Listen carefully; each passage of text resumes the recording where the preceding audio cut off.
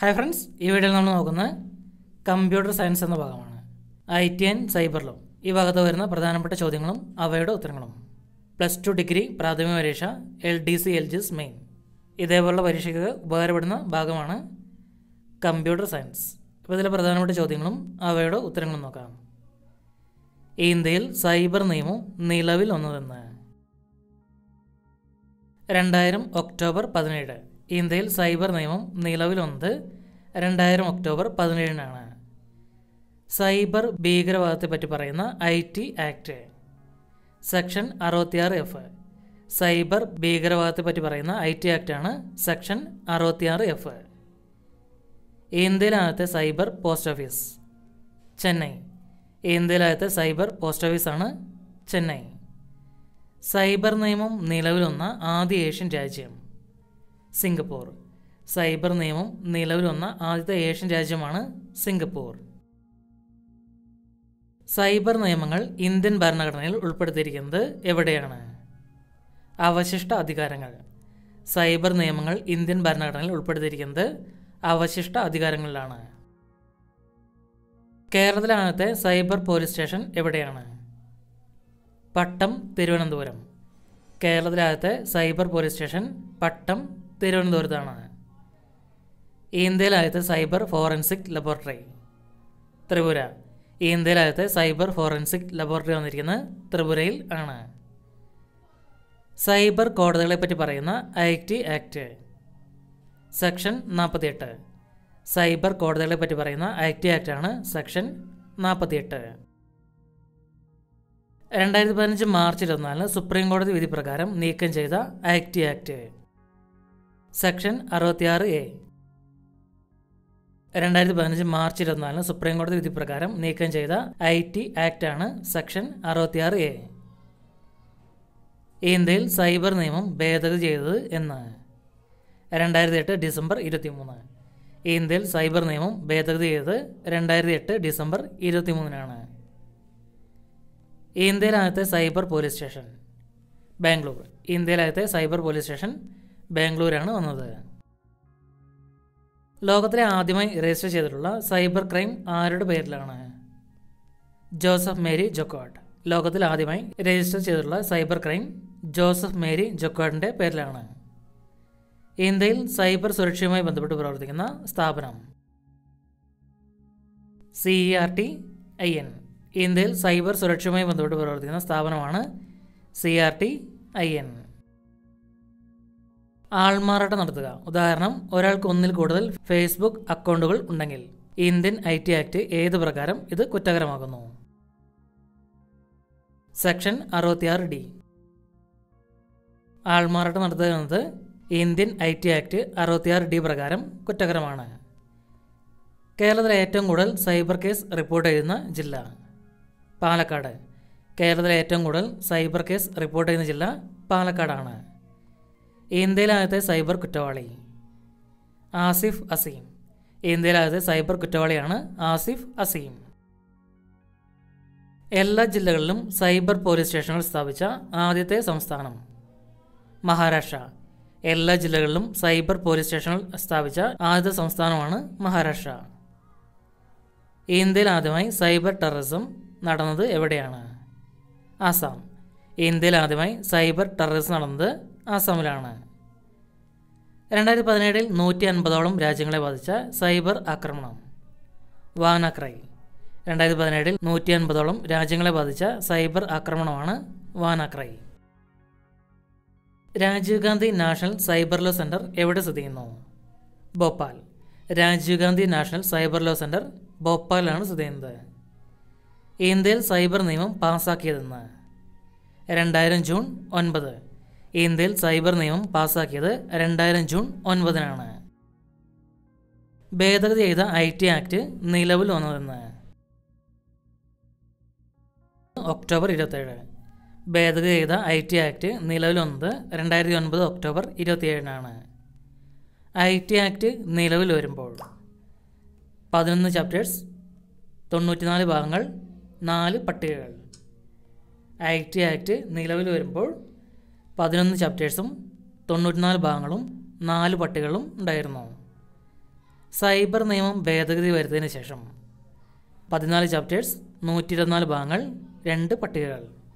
Cyber നിയമം ഭേദഗതി ചെയ്തതിന് ശേഷം പതിനാല് ചാപ്റ്റേഴ്സും നൂറ്റി ഇരുപത്തിനാല് ഭാഗങ്ങളും രണ്ട് പട്ടികളും ഉണ്ട്. Asian school of cyber laws എവിടെ സ്ഥിതി ചെയ്യുന്നു? Pune. Asian school of cyber laws പൂനെയിലാണ്. ഇന്ത്യയിൽ ആദ്യത്തെ സൈബർ കഫേ സ്ഥിതി ചെയ്യുന്നത് മുംബൈ. ഇന്ത്യയിൽ ആദ്യത്തെ സൈബർ കഫേ മുംബൈയിലാണ്. കേരളത്തിലെ സ്വകാര്യ മേഖലയിലെ ആദ്യത്തെ സൈബർ പാർക്ക്. മുത്തൂറ്റ് ടെക്നോപോളിസ്. കേരളത്തിലെ സ്വകാര്യ മേഖലയിലെ ആദ്യത്തെ സൈബർ പാർക്കാണ് മുത്തൂറ്റ് ടെക്നോപോളിസ്. ഇന്ത്യയിൽ ആദ്യമായി സൈബർ കേസ് നിലവിൽ വന്നത് ചെന്നൈ. ഇന്ത്യയിൽ ആദ്യമായി സൈബർ കേസ് നിലവിൽ വന്നത് ചെന്നൈയിലാണ്. ഇന്ത്യയിൽ ആദ്യ സൈബർ സ്റ്റാൾക്കിംഗ് കേസ് റിപ്പോർട്ട് ചെയ്തത്. ഡൽഹി. ഇന്ത്യയിൽ ആദ്യ സൈബർ സ്റ്റാൾക്കിംഗ് കേസ് നിലവിൽ ഡൽഹിയിലാണ്. ഇന്ത്യയിൽ ആദ്യ സൈബർ കേസ് വാദിച്ച വ്യക്തി. പവൻ ഡുങ്കൽ. ഇന്ത്യയിൽ ആദ്യത്തെ സൈബർ കേസ് വാദിച്ച വ്യക്തി പവൻ ഡുങ്കൽ ആണ്. ഇന്ത്യയിൽ ആദ്യത്തെ കേന്ദ്രീകൃത സൈബർ ഫോറൻസിക് ലബോറട്ടറി കർണാടക. ഇന്ത്യയിലെ ആദ്യ കേന്ദ്രീകൃത സൈബർ ഫോറൻസിക് ലബോറട്ടറി കർണാടകയിലാണ്. ഇന്ത്യയിൽ ആദ്യമായി സൈബർ കോടതി നിലവിൽ വന്നത് എവിടെ? ന്യൂഡൽഹി. ഇന്ത്യയിൽ ആദ്യമായി സൈബർ കോടതി നിലവിൽ വന്നത് ന്യൂഡൽഹിയിലാണ്. ദക്ഷിണേന്ത്യയിൽ ആദ്യമായി സൈബർ നിയമം നിലവിൽ വന്ന രാജ്യം. ഇന്ത്യ. ദക്ഷിണേന്ത്യയിൽ ആദ്യമായി സൈബർ നിയമം നിലവിൽ വന്ന രാജ്യം ഇന്ത്യയാണ്. ഇന്ത്യയിൽ ഏറ്റവും കൂടുതൽ സൈബർ കേസുകൾ റിപ്പോർട്ട് ചെയ്യുന്നത്. ആന്ധ്രാപ്രദേശ്. ഇന്ത്യയിലെ ഏറ്റവും കൂടുതൽ സൈബർ കേസുകൾ റിപ്പോർട്ട് ചെയ്യുന്നത് ആന്ധ്രാപ്രദേശിലാണ്. ഇന്ത്യയിലെ ഏറ്റവും കൂടുതൽ സൈബർ കേസുകൾ വരുന്ന നഗരം ബാംഗ്ലൂർ. ഇന്ത്യയിലെ ഏറ്റവും കൂടുതൽ സൈബർ കേസുകൾ വരുന്ന നഗരം ബാംഗ്ലൂരാണ്. ഇന്ത്യയിലെ ആദ്യത്തെ minority cyber village Chandoli Rajasthan. ഇന്ത്യയിലെ ആദ്യത്തെ മൈനോറിറ്റി സൈബർ വില്ലേജ് ചന്ദോളി രാജസ്ഥാനിലാണ്. ലോകത്തിൽ ആദ്യമായി സൈബർ കേസ് റിപ്പോർട്ട് ചെയ്ത രാജ്യം ഫ്രാൻസ്. ലോകത്തിലാദ്യമായി സൈബർ കേസ് റിപ്പോർട്ട് ചെയ്ത രാജ്യം ഫ്രാൻസ് ആണ് ലോകത്തിലെ ആദ്യത്തെ cyber forensic laboratory Los Angeles. ലോകത്തിലെ ആദ്യത്തെ സൈബർ ഫോറൻസിക് ലബോറട്ടറി ആണ് ലോസ് ഏഞ്ചൽസ്. ഏഷ്യയിലെ ആദ്യത്തെ cyber forensic laboratory Hong Kong. ഏഷ്യയിലെ ആദ്യത്തെ സൈബർ ഫോറൻസിക് ലബോറട്ടറി ഹോങ്കോങ്ങിലാണ്. സൈബറാബാദ് എന്നറിയപ്പെടുന്ന ഇന്ത്യൻ നഗരം. ഹൈദരാബാദ്. സൈബറാബാദ് എന്നറിയപ്പെടുന്ന ഇന്ത്യൻ നഗരമാണ് ഹൈദരാബാദ്. ഇന്ത്യയിലെ സൈബർ വില്ലേജ്. മില്ലിധാര പിയോങ്. സിക്കിമിലെ മില്ലിധാര പിയോങ് ആണ് ഇന്ത്യയിലെ സൈബർ വില്ലേജ്. ഇന്ത്യയിലെ cyber Grameen centre Venkatachalam village Andhra Pradesh. ഇന്ത്യയിലെ ആദ്യത്തെ സൈബർ ഗ്രാമീൺ സെന്ററാണ് വെങ്കടാചലം വില്ലേജ് ആന്ധ്രാപ്രദേശ്. ഇന്ത്യയുടെ ആദ്യത്തെ cyber security chief. Gulshan Rai. ഇന്ത്യയിലെ ആദ്യത്തെ cyber security ചീഫാണ് Gulshan Rai. Indian computer emergency response team C R T I N നിലവിൽ വന്ന വർഷം. രണ്ടായിരത്തി നാല് Indian computer emergency response team അഥവാ C R T I N നിലവിൽ വന്ന വർഷം രണ്ടായിരത്തി നാലാണ് സൈബർ അപ്ലൈഡ് ട്രിബ്യൂണൽ ക്യാറ്റ് നിലവിൽ വന്ന വർഷം രണ്ടായിരത്തി ആറ് സൈബർ അപ്പലേറ്റ് ട്രിബ്യൂണൽ അഥവാ സി എ ടി നിലവിൽ വന്ന വർഷം രണ്ടായിരത്തി ആറാണ് സൈബർ കുറ്റകൃത്യങ്ങൾ തടയാനായി ഇന്ത്യയിൽ ആദ്യ crime criminal tracking network system ആരംഭിച്ച സംസ്ഥാനം മഹാരാഷ്ട്ര. സൈബർ കുറ്റകൃത്യങ്ങൾ തടയാനായി ഇന്ത്യയിലാദ്യത്തെ crime criminal tracking network system ആരംഭിച്ച സംസ്ഥാനം മഹാരാഷ്ട്രയാണ്. ഇന്ത്യയിൽ സൈബർ സുരക്ഷ ഉറപ്പാക്കുന്നതിന് വേണ്ടി കേന്ദ്ര സർക്കാർ ആരംഭിച്ച പുതിയ സംവിധാനം. National cyber coordination centre ഇന്ത്യയിൽ സൈബർ സുരക്ഷ ഉറപ്പാക്കുന്നതിന് വേണ്ടി കേന്ദ്ര സർക്കാർ ആരംഭിച്ച പുതിയ സംവിധാനമാണ് national cyber coordination centre കേരളത്തിൽ ആദ്യമായി സൈബർ കേസ് റിപ്പോർട്ട് ചെയ്ത് എവിടെ? പത്തനംതിട്ട. കേരളത്തിൽ ആദ്യമായി സൈബർ കേസ് റിപ്പോർട്ട് ചെയ്ത് പത്തനംതിട്ടയിലാണ്. ഇന്ത്യയിലെ ആദ്യത്തെ I T university. J P university. ഇന്ത്യയിലെ ആദ്യത്തെ ഐ ടി യൂണിവേഴ്സിറ്റിയാണ് ജെ പി യൂണിവേഴ്സിറ്റി. ഇന്റർനെറ്റിന്റെ തുടക്കം എന്നറിയപ്പെടുന്ന അമേരിക്കൻ പ്രതിരോധ വകുപ്പിന്റെ കമ്പ്യൂട്ടർ ശൃംഖല ഏത്? ARPANET advanced research project agency network. ഇന്റർനെറ്റിന്റെ തുടക്കം എന്നറിയപ്പെടുന്ന അമേരിക്കൻ പ്രതിരോധ വകുപ്പിന്റെ കമ്പ്യൂട്ടർ ശൃംഖലയാണ് ARPANET advanced research project agency network. നമ്മൾ ഈ നോക്കുന്ന ഭാഗത്തിന്റെ മോക്ക് ടെസ്റ്റ് ലിങ്ക് ഡിസ്ക്രിപ്ഷൻ ബോക്സിൽ കൊടുത്തിട്ടുണ്ട്. അവിടെ ക്ലിക്ക് ചെയ്ത് പ്രാക്ടീസ് ചെയ്ത് നോക്കുക. ഇന്ത്യൻ ആഗോള ഇന്റർനെറ്റ് പൊതു ശൃംഖലയിൽ ചേർന്ന ഏത് ആയിരത്തി തൊള്ളായിരത്തി തൊണ്ണൂറ്റി അഞ്ച് ഓഗസ്റ്റ് പതിനഞ്ച്. ഇന്ത്യൻ ആഗോള ഇന്റർനെറ്റ് പൊതു ശൃംഖലയിൽ ചേർന്ന വർഷം ആയിരത്തി തൊള്ളായിരത്തി തൊണ്ണൂറ്റി അഞ്ച് ഓഗസ്റ്റ് പതിനഞ്ചിനാണ്. ലോകമാകെ വ്യാപിച്ചു കിടക്കുന്ന മഹാകമ്പ്യൂട്ടർ ശൃംഖലയും അവ നൽകുന്ന വിവിധങ്ങളായ സൗകര്യങ്ങളെയും പൊതുവായി എങ്ങനെ വിളിക്കുന്നു? ഇന്റർനെറ്റ് ലോകമാകെ വ്യാപിച്ചു കിടക്കുന്ന മഹാകമ്പ്യൂട്ടർ ശൃംഖലയെയും അവ നൽകുന്ന വിവിധങ്ങളായ സൗകര്യങ്ങളെയും പൊതുവായി ഇന്റർനെറ്റ് എന്ന് വിളിക്കാം. ഇന്റർനെറ്റിൽ നിന്നും വിവരങ്ങൾ ലഭ്യമാക്കാൻ സഹായിക്കുന്ന സോഫ്റ്റ്വെയറുകൾ ഏവ? വെബ് ബ്രൗസറുകൾ.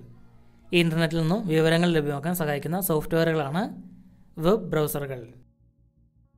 വെബ് ബ്രൗസറുകൾക്ക് ഉദാഹരണങ്ങൾ ഏതെല്ലാം? Firefox Epiphany Google Chrome Internet Internet Explorer Edge. Web ബ്രൗസറുകൾക്ക് ഉദാഹരണങ്ങളാണ് Firefox Epiphany Google Chrome Internet Explorer Edge എന്നിവ.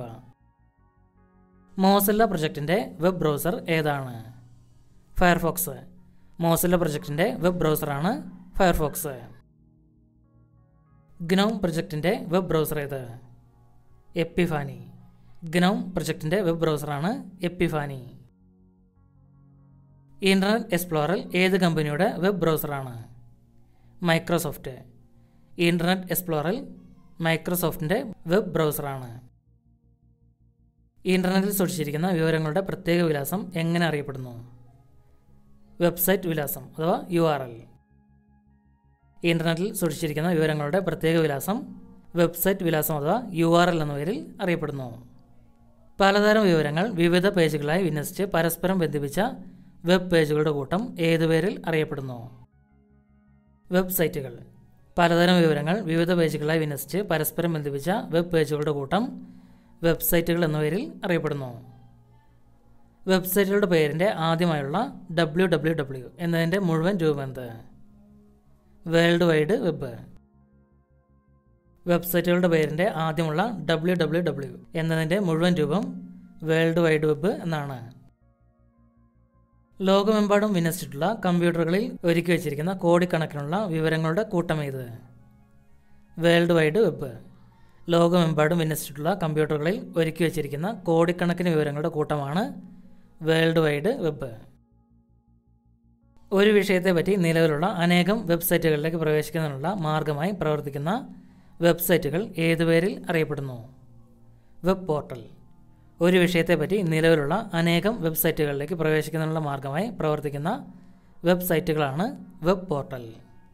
വെബ്സൈറ്റ് വിലാസം നേരിട്ട് നൽകാതെ ഇന്റർനെറ്റിൽ വിവരങ്ങൾ തിരഞ്ഞെടുത്താനുള്ള സംവിധാനം ഇത് സെർച്ച് എഞ്ചിനുകൾ.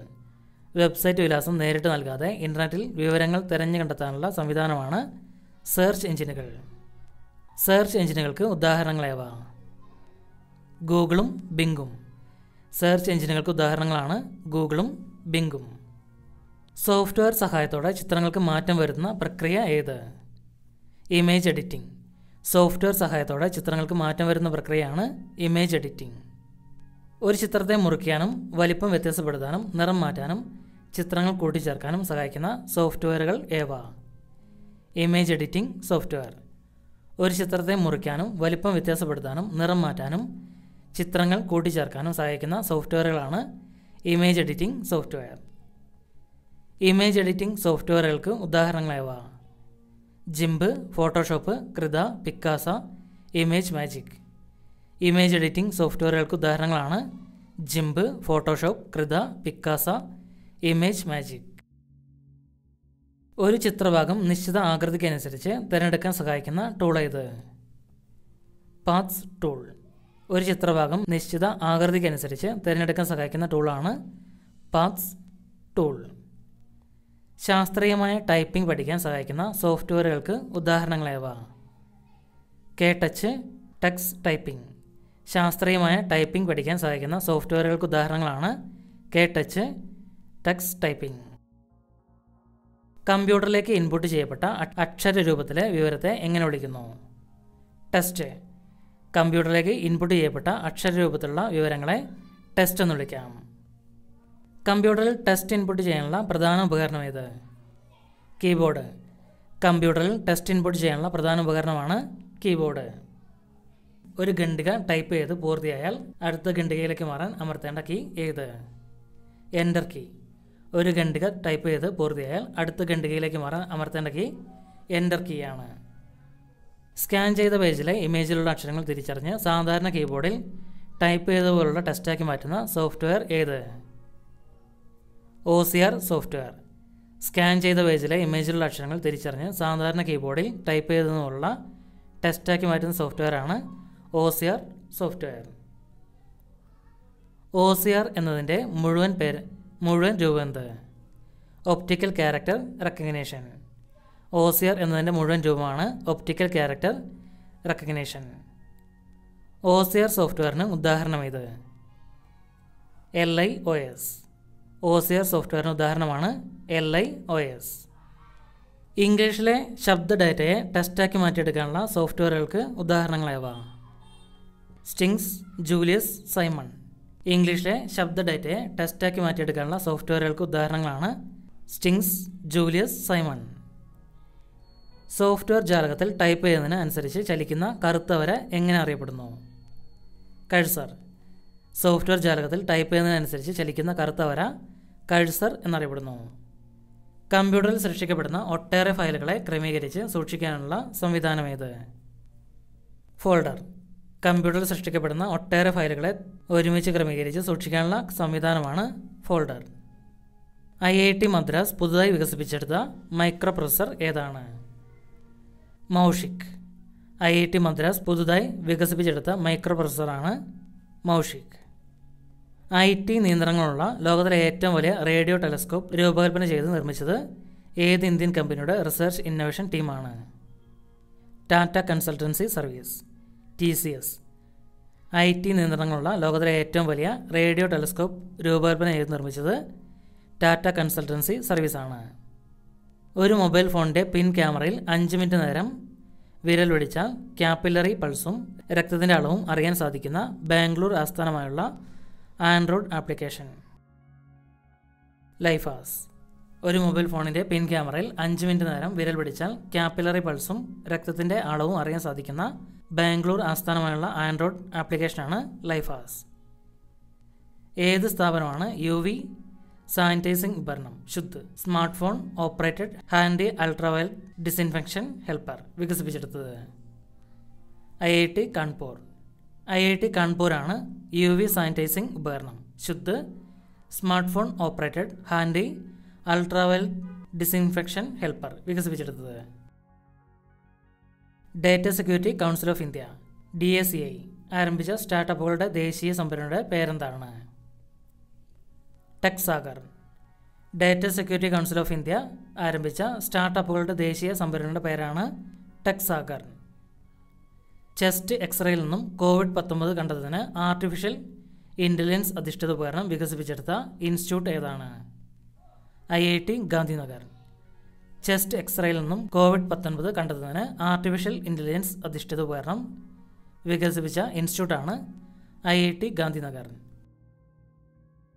രാജ്യത്തിനകത്ത് ലൊക്കേഷനുകളും റൂട്ടുകളും കണ്ടെത്താൻ കണ്ടെത്താൻ സ്മാർട്ട് ഫോണുകളിലും നാവിഗേഷൻ ഉപകരണങ്ങളിലും ഉപയോഗിക്കാൻ ഐ ഐ ടി ബോംബെ വികസിപ്പിച്ച റിസീവർ ചിപ്പ് ഏതാണ്? ധ്രുവ.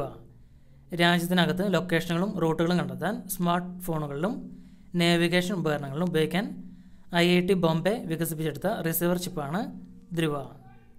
ഉയർന്ന ഡാറ്റ സംഭരണത്തിനും വേഗത്തിലുള്ള കണക്കുകൂട്ടലിനും ശേഷിയുള്ള മാഗ്നറ്റിക് ഗ്രാം വികസിപ്പിച്ചെടുത്ത ഇൻസ്റ്റിറ്റ്യൂട്ട് ഏത്?